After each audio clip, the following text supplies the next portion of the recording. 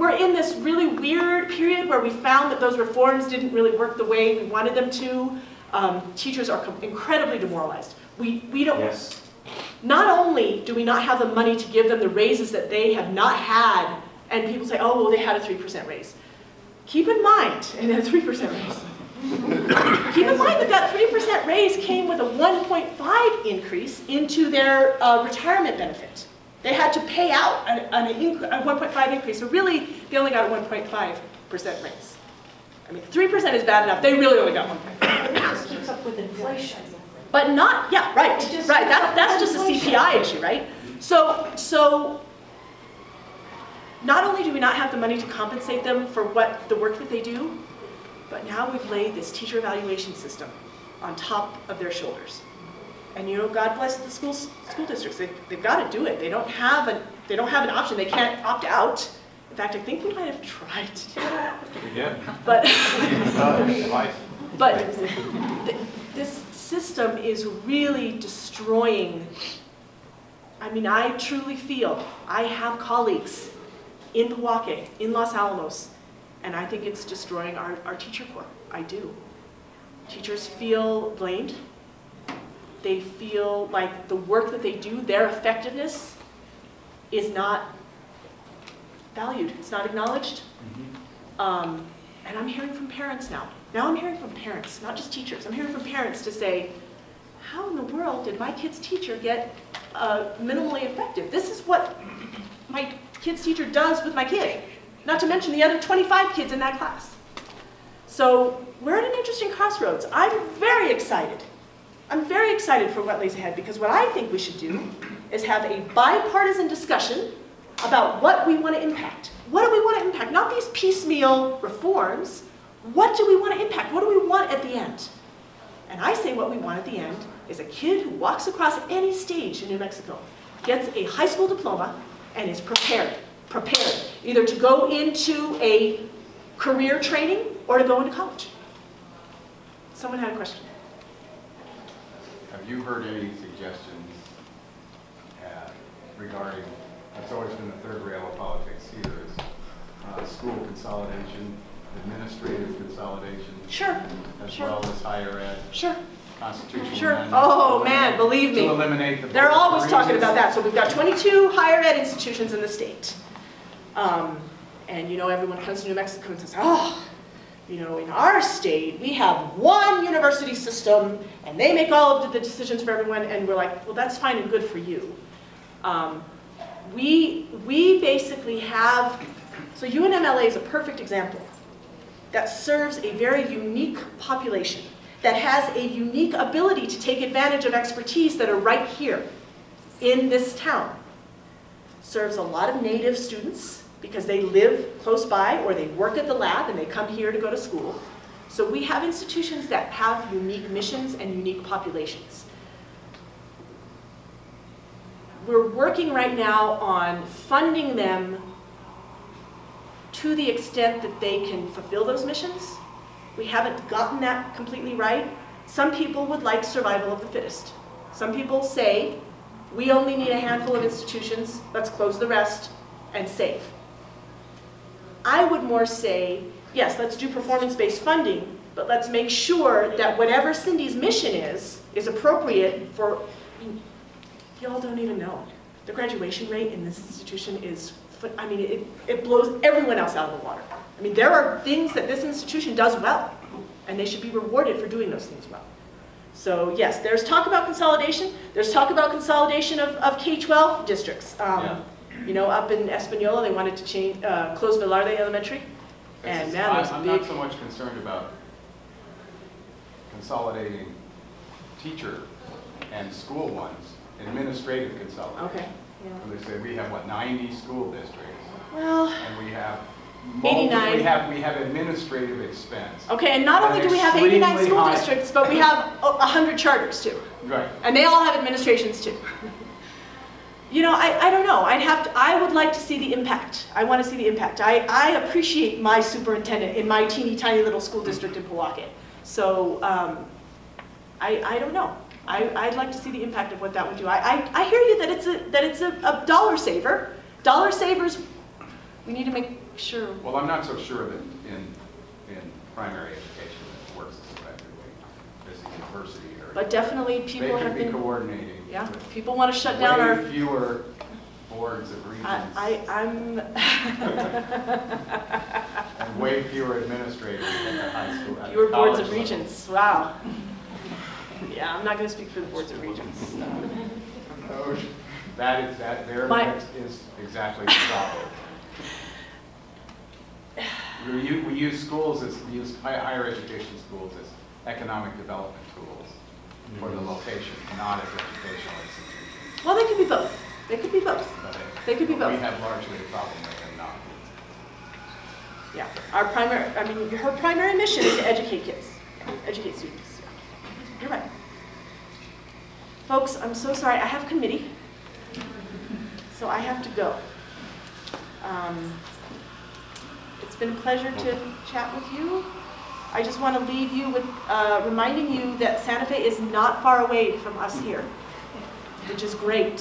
Think about if you live in Hobbs or Raton or Silver City or Lordsburg you have access to me, but also all of the members there. So please focus on, you know, whatever it is that you're passionate about. It's easy to follow bills on nmlegis.gov. Um, We're gonna try to hopefully modernize a little bit with the committee hearings. We'd like to like tweet out, um, you know, committee agendas and things like that so that you can make sure you know what's on the docket before you head all the way down there. But really, it's not all the way down there. Imagine coming up from Cruces for a committee hearing that gets canceled, right? So, thank you all very much. Please come visit me, my door is open, and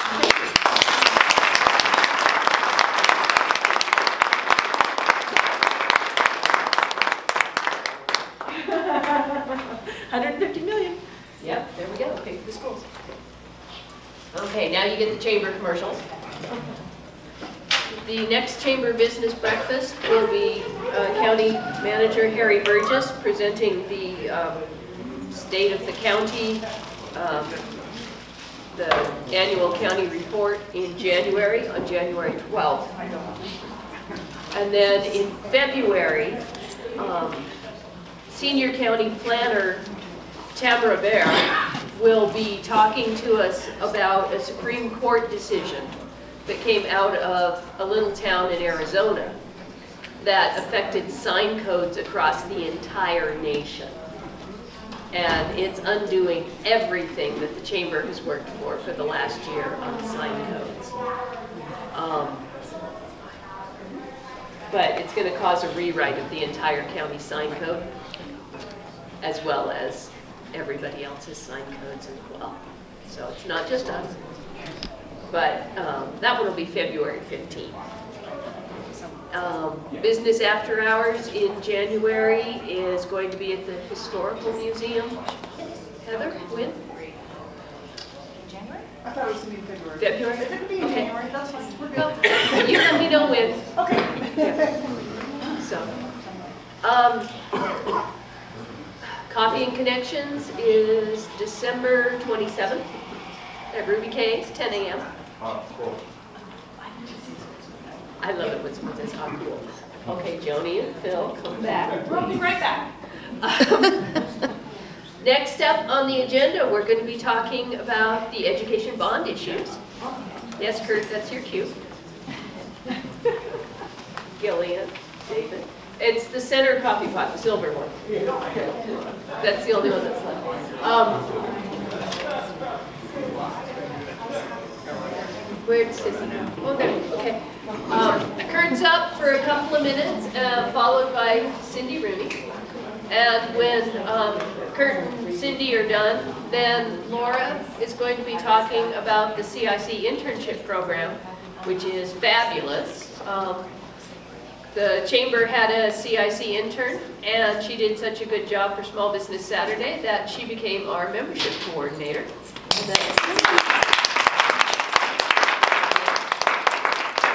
So with that, Kurt, take it away. Okay, um, let's see, hold on to your chairs. I got seven points, and they're all follow-ups from what we just talked about.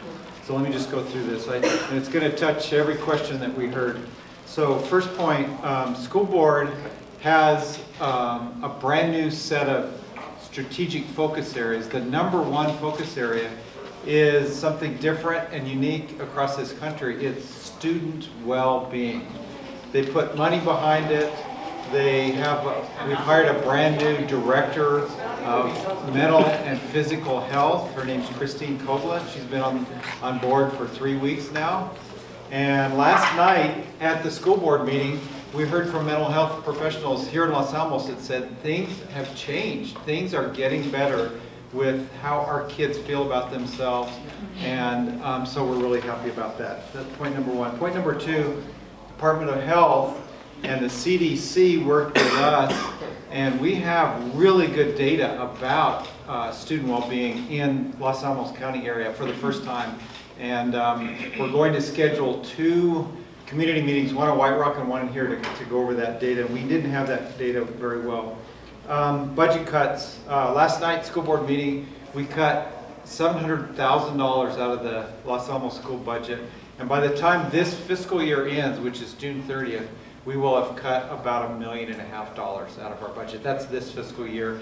Next year, um, nobody knows, my crystal ball is broken, but uh, we'll probably lose about another three to five percent out of our public school budget. So things are tough.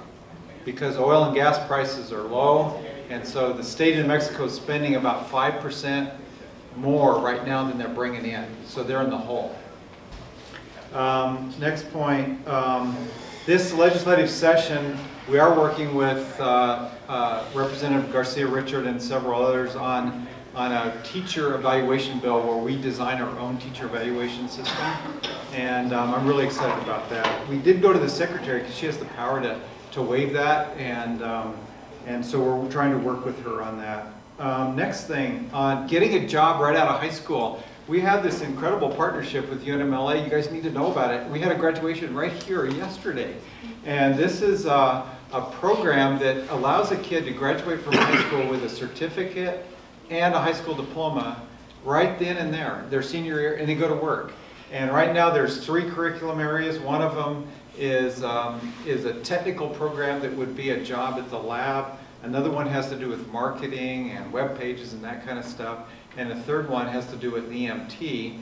And then uh, last weekend, I talked to a colleague at the lab, and we're going to have a fourth one, which is around, again, another technical, a need for technical staff at the laboratory.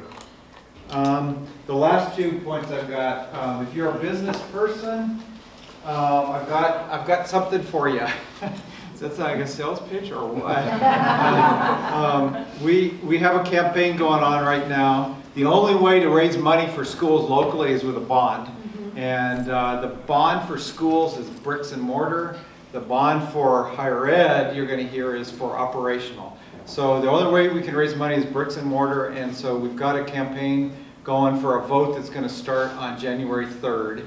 And um, for businesses that will put this sign in their window, we're taking your picture, and then we're going to buy a full-page ad in the newspaper that says, support our businesses that support our local schools. And then we're going to put everybody's picture in there with uh, the bond sign.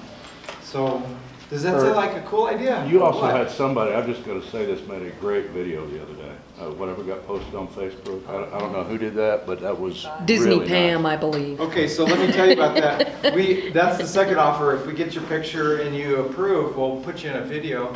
And um, if you count up the three videos we posted, we have over 12,000 views in Los Alamos of those videos. So the word's really getting out on those Facebook videos. And you said you liked it. Thank you. It was good. It was great. Um, Pam Miller's one of them that's been doing that. And if you are uh, a private person and you want to know what the bond money is for, it's for all our schools. Um, And the biggest amount of money is to remodel Barranca Mesa Elementary School.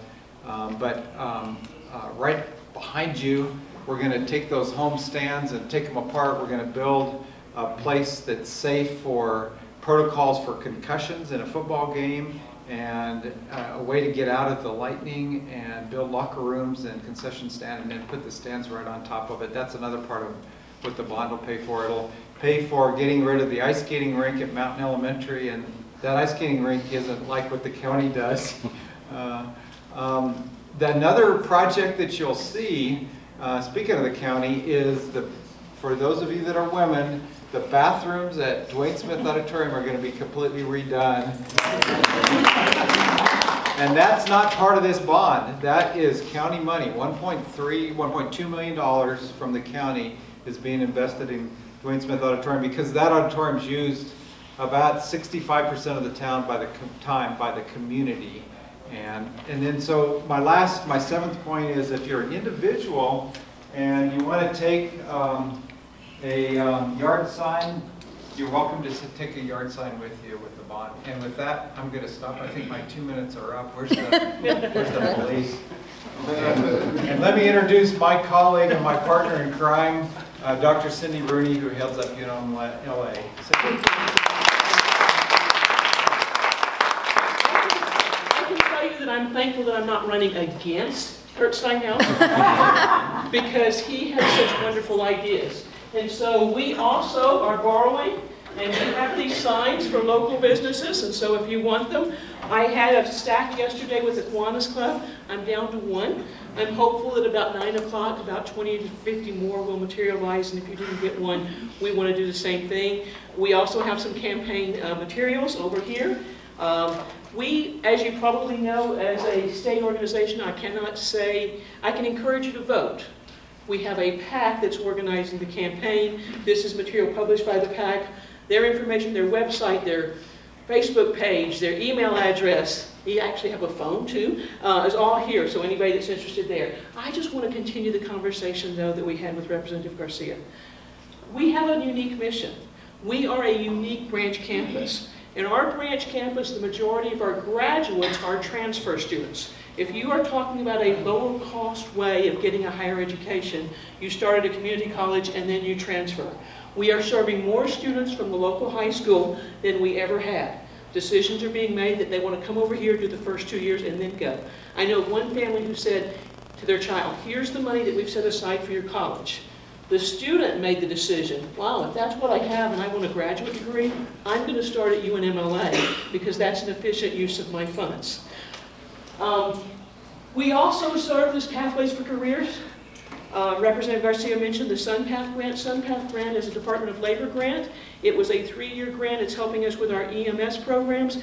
Many of you know this semester we started a personal care attendant program, and we're also going to be starting a certified nursing assistant program in the spring semester. That money is, those programs are possible because of additional funds from the SunPath grant. I'm not going to go through all the slides, but by the way, Representative Garcia is such a strong advocate of ours. She's a strong advocate of education and higher education and of UNM Los Alamos because she knows all of these statistics as well as I do. Um, if you look at all of the branch campuses in, in UNM, we're kind of like the Los Alamos Public Schools. We're up here. All the branch campuses in the state, we're up here. We have unique faculty, we have talented faculty, and all of those things that I love about education. But there's two slides I want you to see. Kurt and I have been doing these slideshows around town. High, public education gets about 90% of their funding from the state, operational.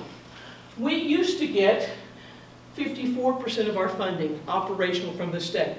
That allowed, that was the state saying, we think education is good, we're funding it. But as state revenues have decreased, the funding has gone down. The budget for this year, before the, before the cuts, before the special session cuts, before the next cuts, was down to 33%. And so how do we make up that money? Well, part of it is through these grants. And so we mentioned um, the grants, the purple, not 12% to 19%. That's the SunPath grant. We submitted three more NSF grants this fall. We are doing the, it's almost like the economic development. We're going out there and trying to get the money, okay? But grants are always a specified purpose, and then when they go away, you say, how are we going to sustain these things? How are we going to continue to pay our instructors? How are we going to continue to recruit the students? In the state, tuition has increased, uh, our, our percentage of tuition, let's say, our percentage has gone from 12% of our revenues from tuition to 23%. That's two things. One is tuition's up. We are one of the few schools in this, few campuses that's growing. We're up to 1,050 students on campus this semester, up 9% over last fall, which was 10% over the previous fall. So every semester we're growing, which is wonderful, except tuition, even though people say, well, I paid my tuition, tuition is only a small fraction of the operating cost of an institution. So tuition is increasing. It's also going up by rate. We've increased it on average about 6% every year. Um, by the way, the third bullet, we don't get any funding to UNM Albuquerque. If I was the Department of Engineering in Albuquerque, UNM Albuquerque would get money and they would say how much engineering gets. But I am a separate branch campus, and branch campuses are separately funded. Okay, that's kind of a misnomer. One last slide that I will mention to you. If you look at state funding per student credit hour,